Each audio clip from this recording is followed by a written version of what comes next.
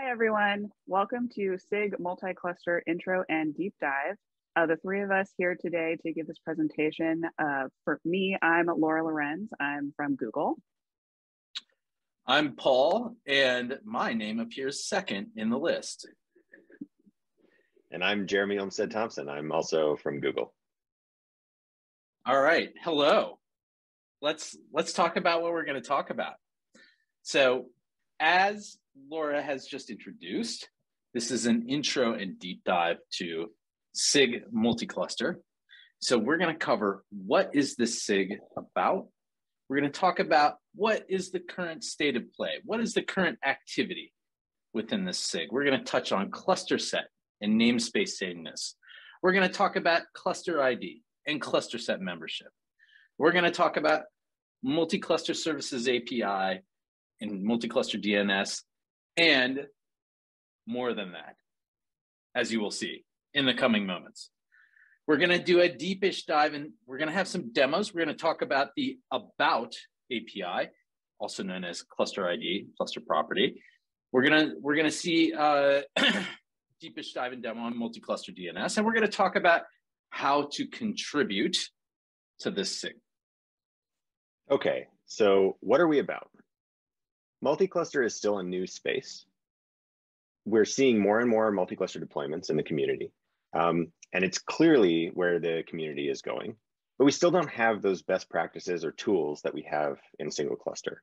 If you want to know how to do something in a single cluster today, you know, there's tons of documentation, uh, tons of best practices out there. We just don't have that yet for multi-cluster.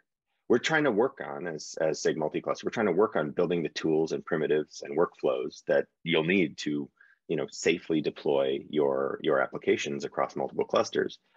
We want to work with you to help figure out how to connect services between clusters, how to replicate workloads across clusters, and how to manage the, the rollout of the deployments across your multi-cluster group.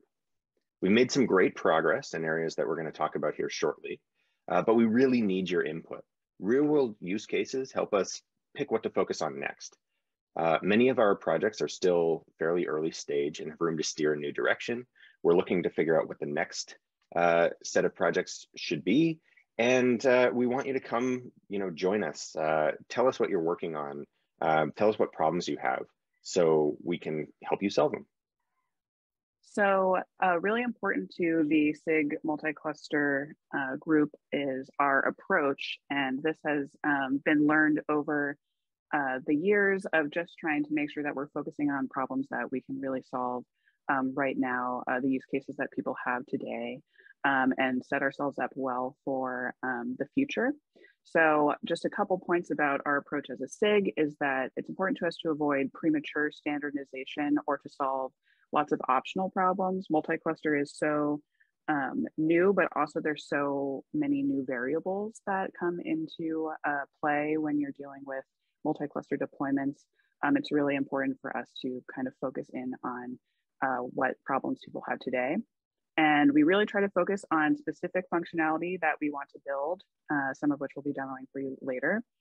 And then if we can work backwards from these specific problems into something bigger, then that's uh, the direction that we want to take. That gives us something that's really applicable up front, but it can give us some insight and information that allows us to uh, work backwards into the larger abstractions.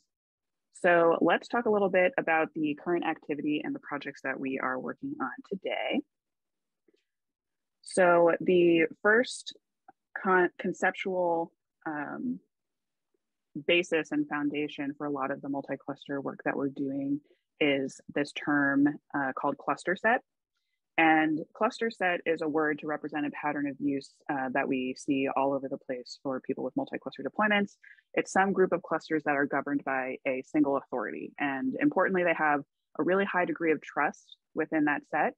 Um, and this is something that we can leverage when we're describing um, different multi-cluster um, tooling or APIs that we want to uh, come up with. Um, we can kind of focus on this cluster set basis, this foundation, as this group of clusters that have high degree of trust and are governed by a single authority. So one kind of important um, side effect of uh, the cluster set or, or uh, item about cluster sets that's really relevant to all the work we've been doing in SIG multi-cluster is the idea of namespace sameness. So once we get into uh, multi-cluster deploy deployments, we need to say something about if the same namespace is in two different clusters, you know, how, what are the properties about both of them now that these clusters are working together. And the um, link in here is for the position statement from SIG multi-cluster about what namespace sameness is. Um, but basically the short version is that uh, for a given namespace in different clusters, they're considered to be the same, their permissions and characteristics should be consistent. Um, and even though the namespaces in a cluster set, not every namespace has to exist in every cluster in the cluster set. If they do, they should behave the same across the cluster set. And this is what gives us the ability to um, operate on a multi-cluster deployment in some similar ways as a single cluster deployment. And um, a new update for, for this, um, this uh, round of KubeCon is uh, about the clusters cluster set membership uh, being stored in this about k8s.io cluster property called clusterset.k8s.io. So we're gonna uh, talk about it on the next slide and deep dive later, but um, this is uh, where um, this actual property about a cluster, its cluster set membership uh, will be stored. So when we think about sets of clusters, one of the things that we need to establish that concept effectively is to talk about the coordinates of clusters within that set. The, the name that we have given to that concept is cluster ID. Um, and if you want the details, you can look at KEP 2149, or you can look at the sigs.k8s.io about API link, which will uh, send you to the Git repo where the about API is coming together. So about, if you haven't guessed, about is the name of the API group.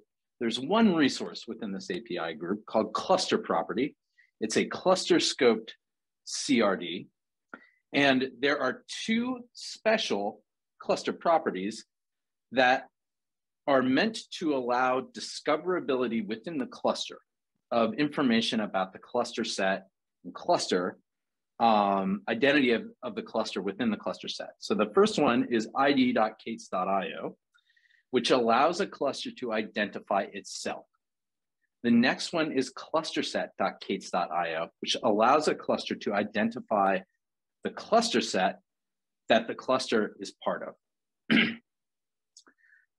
the cluster ID uniquely identifies clusters within a cluster set for the lifetime of membership within that cluster set and it provides a reference for multi-cluster tooling to build on within a cluster set. So for example, it allows uh, to disambiguate backends for headless services between clusters. It's a coordinate to use for scheduling work, and it's a possible annotation for metrics and logs associated uh, with that cluster. Now I'm going to talk about the Multi-Cluster Services API, or MCS, which uh, some of you may have heard us talk about before. Um, the MCS API was the kind of the, the first reset into this new approach that Laura mentioned before, where we just focus on specific problems. And here, um, you know, services seem like a logical place to start. You have services deployed in multiple clusters. You want to connect them together. Um, this, this is the basis for a, a multi-cluster deployment. And it's a specific problem that had real use cases for us to focus on. So the MCS API uh, builds on the concept of namespace sameness that Laura mentioned and lets you consume a service just by knowing its name across multiple clusters. And we actually use the service name and the namespace to link services together. So you can even uh, deploy a service with the same name in the same namespace in multiple clusters and consume them as a single service with, with just distributed backends. Um, the API focuses only on the API and common behavior. We don't have a de facto implementation, and this is this is by design. Um, we wanted to allow uh, room for various implementations. You know, different platforms, different environments have different needs. Um, some have flat networks. Uh, some have many networks that need to be stitched together. Um, we wanted to leave room for implementers to you know do what works best in their area but provide a common api that you can use to describe how you want your services to be exposed and how you want to consume them Um, this leaves room for you know centralized or decentralized control planes depending on what you need. Um, but the idea is that a consumer of the service only ever has to rely on local data. Um, so they get a familiar interface and they don't need to understand the topology of all the clusters. Um, the result is that we have the extension of cluster IP and headless services that just basically work as you'd expect across clusters now with a new name, uh, with a cluster set name instead of a cluster local name. Um, and Laura is gonna dig into DNS in a little bit here. We have some other initiatives going on as well. We are continuing the work with MCS to figure out how to extend uh, the multi-cluster services API to work with network policy in a um, in a multi-cluster environment with policy applied across clusters. Uh, we're working on figuring out how to address the multi-network scenario where you are stitching together uh, clusters on different networks. Um, and whether or not that even needs to be something that gets represented in the API or it can be left up for implementations. Um, again, we're trying to just focus on the core problems that need solving and not be too descriptive about how, um, how exactly the problems need to be solved so we don't shut any doors unnecessarily. Um, we're also looking into what it would take to build multi-cluster controllers, controllers with replicas in multiple clusters. And I think the big thing that's come out here is we need some form of distributed leader election. Um, this is something that that is very new as an idea, but we're looking for help uh, building it. So come join us, uh, come help us figure out what to do here. Um, we have the work API, which is focused on spreading groups of resources to different clusters. Um, so you can roll out your deployments. Um, and of course, we have KubeFed. Um, KubeFed has been around for a while. Um, it has some some users uh, who have who've been interested in a long time, but we've seen it kind of uh, go a little bit into maintenance mode, and we're considering archival uh, as we have some new alternatives emerging. So come join us, uh, help us figure out what those alternatives should look like. All right, so I'm going to take us through uh, two deep dives and demos of some of the work that's been going on. And uh, we're going to talk about the About API and show you what that looks like and multi-cluster DNS and give you a demo of that as well. So first off with the About API. So as mentioned before, the About API um, is uh, the source for uh, the entire design is in KEP 2149 and it's now available at sigs.k8s.io slash about API, which is what I'm going to demo for you today. And again, uh, we mentioned it's a cluster scoped cluster property CRD of just name and value used for um, the purposes of uniquely identifying clusters and their membership in a cluster set. And uh, more um, concretely over here, I have some examples of what those about API resources may look like. Um, so again, they're in this about k8s.io um, API group, they're a cluster property kind, and they just have names and values, right? Names and values, and also down here, names and values. And um, the two special names that we've been talking about is id.k8s.io, which these two examples up here are referencing, and clusterset.k8s.io. And id.k8s.io is to represent the name of the cluster, whereas clusterset.k8s.io is to represent the uh, cluster set membership of that cluster. So the exact um, specification of these values are actually um, quite flexible. So you can see there's actually two examples up here of what it might look like for an id.k8s.io uh, resources value. Um, we uh, recommend uh, the kube system namespaces UUID uh, for uniqueness purposes, uh, which are described in some more detail in the KEP. Um, but as long as the uh, values meet the properties laid out in this KEP um, regarding uniqueness for the length of the membership in the cluster set, um, then um, it can technically just be any value that, that meets those properties, even though this one is uh, a likely candidate. So um, what I want to also mention here is that this uh, cluster property kind this just name value where value is very um, uh, resource specific and only those two um, id.k8s.io and clusterset.k8s.io have any specific properties defined in the KEP. Um, it's important to point out that actually um, in the KEP, other uses are allowed for this um, API. So you could store any arbitrary properties uh, that you want um, in this cluster property CRD. Um, and as long as the names follow the KEP guidelines, uh, which is basically not to conflict with any of the well-known properties of which again, we have those two, ID and cluster set, um, that they must use a suffix and cannot use the reserved k8s.io or kubernetes.io suffixes. But uh, this means that you could um, use this to store any arbitrary uh, properties that you want to about your cluster in sort of the centralized CRD and make it a little bit easier for you to um, access them using the About API. Um, some ideas that were mentioned over the course of the KEP were, uh, for example, if you wanted some sort of fingerprint um, for some specific um, company or implementation, um, the important part is just to name it whatever you want dot your suffix, um, and then you can put whatever you want in the value field. Um, or uh, under a discussion right now um, regarding uh, multi-network, um, there's an idea of potentially storing network information. So this is just a potential uh, way that uh, that might look in the CRD. Um, so any sort of uh, structure and use in here is is possible, and we're definitely interested to hear what um, what people might want to leverage uh, cluster property for, um, and happy to um, brainstorm with folks about that, um, both for single cluster purposes and of course for multi-cluster purposes. All right, so I want to give a quick demo of the API right now, um, and major shout out to Ishmeet who did a lot of the work on uh, this um, this implementation, I am just the messenger. Uh, so let me change my screen. All right. So uh, to demonstrate this, um, I am uh, using a kind cluster uh, here that doesn't have any CRDs installed at all.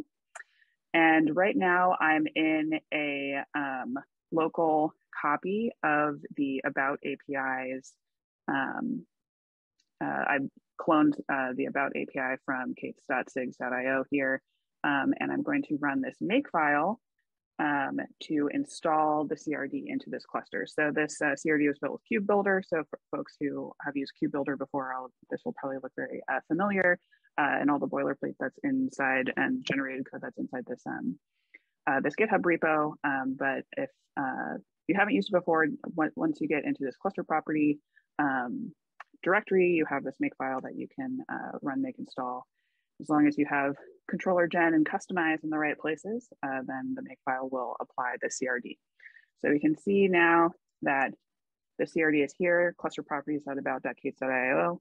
And again, it's just that name and value, right? So I actually have the um, actually have the source here from uh, the um, our, the custom resource definition um, in this uh, repo here uh, with uh, everything um, being just these two uh, these two values, right? Or these two fields, I should say, right? Okay, so um, oh, uh, what I want to do next is to actually switch over to another terminal where I'm in the samples directory because in here I have this um, uh, example cluster property, which I also have open up here, which is again from the slides, like uh, very simple, just this name and value. And in this case, I'm using a value that looks something like a kube system namespace UUID. Um, so if I go ahead and apply that in here, then now we have this uh, cluster property in the about k8s.io um, API group that's called id.k8s.io. So the whole thing here is that now I can get uh, my cluster property called id.k8s, gotta spell it right though, id.k8s.io. And I can give myself a, I'll look at it, at it all here. And this is how I can directly access this value right through this cluster property um, API now. So I'm doing it here from kubectl, but you could of course do this um, from any uh, Kubernetes API client. Um, and this is how you can just access um, whatever ID resource uh, that you or another implementation has put um, in the CRD. So that's the idea behind um, the About API, simple and sweet. Um, this is a demo with, again, id.k8s.io that needs to follow some certain properties. But again, you could put any uh, cluster property you want in here uh, and use it um, in your controllers uh, as, as you like. All right, so next I want to talk a little bit about multi-cluster DNS.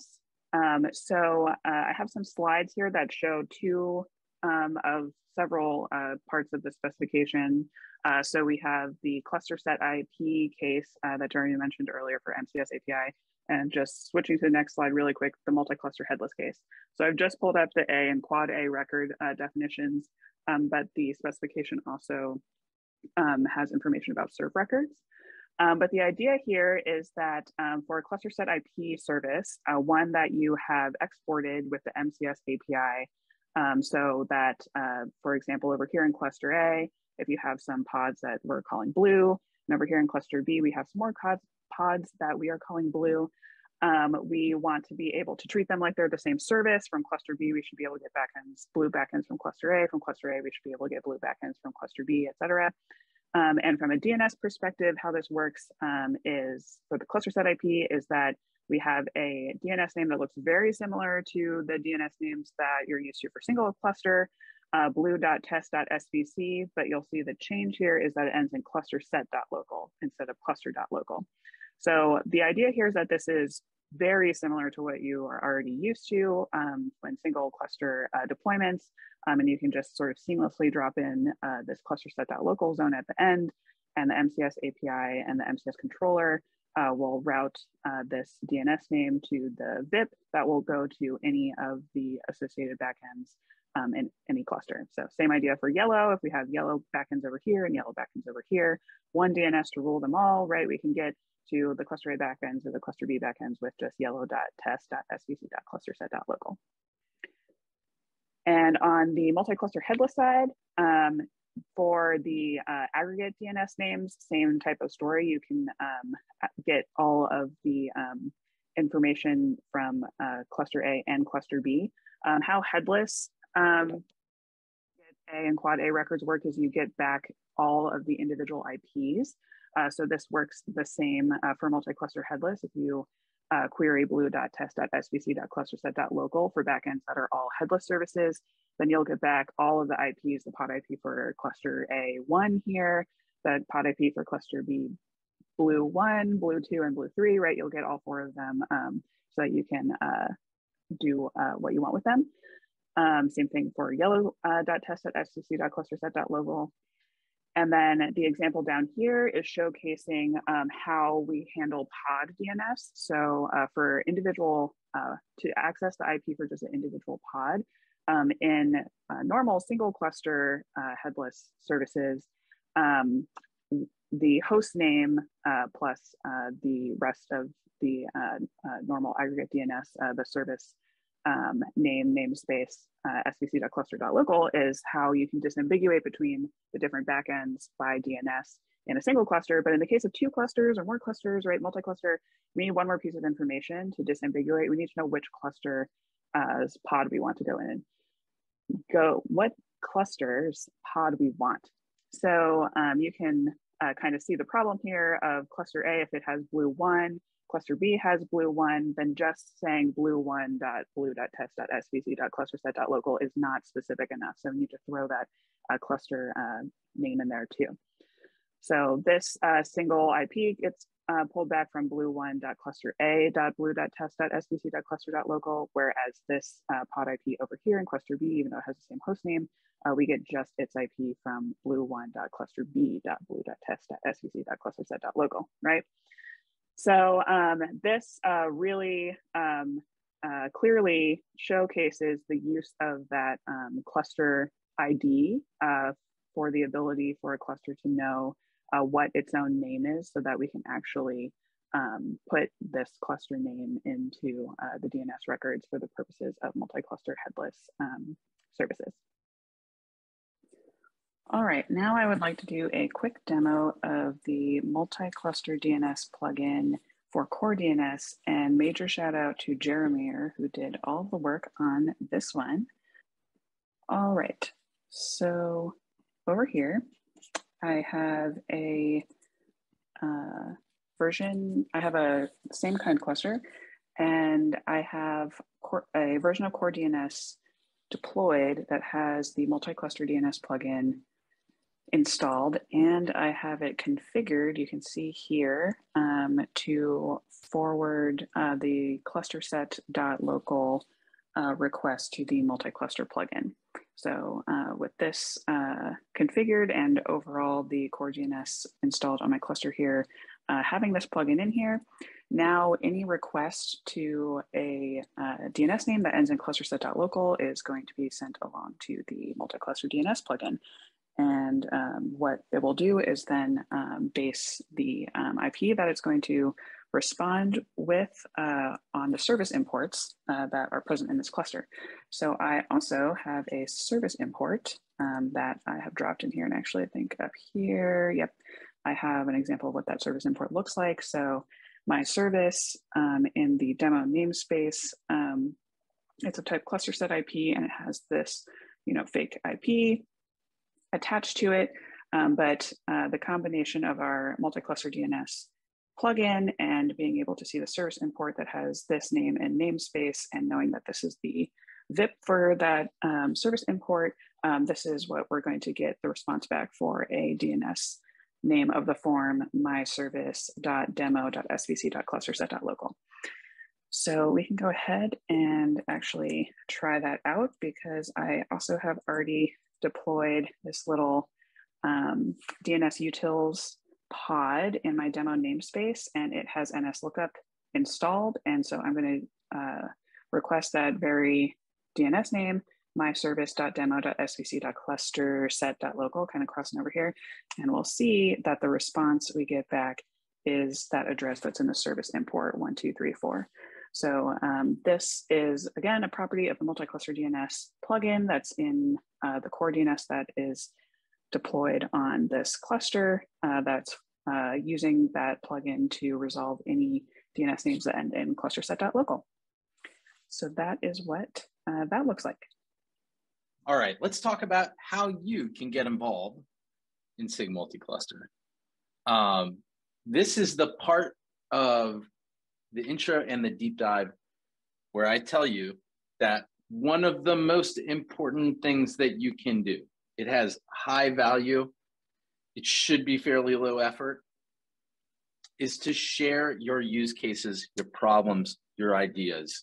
Um, note that use cases and problems super valuable. If you don't have any ideas and you just have a nice big shopping cart full of use cases and problems, we'd still love to hear about it. Um, so I want to just make a personal request to you. If you're seeing this and you've thought about, you've thought about uh, the this functional area like that that we're talking about, we'd love to know your use cases, your problems, your ideas. Check out our homepage. It's on the community site, SIG Multicluster. Give us a ping in Slack. The channel name is, I hope you're sitting down for this, it's SIG Multicluster. And you can hit us up on the list which is called Kubernetes SIG multi-cluster. We'd love to have you join the meetings. They're bi-weekly, bi-weekly on Tuesday. Um, they're at 12.30 Eastern, 9.30 Pacific, and 16.30 UTC. If you have something that you'd like to present, feel free to put it on to the agenda and just come and talk to us about it. I'd love to see you there. Hope to see you soon. Thanks for joining us today.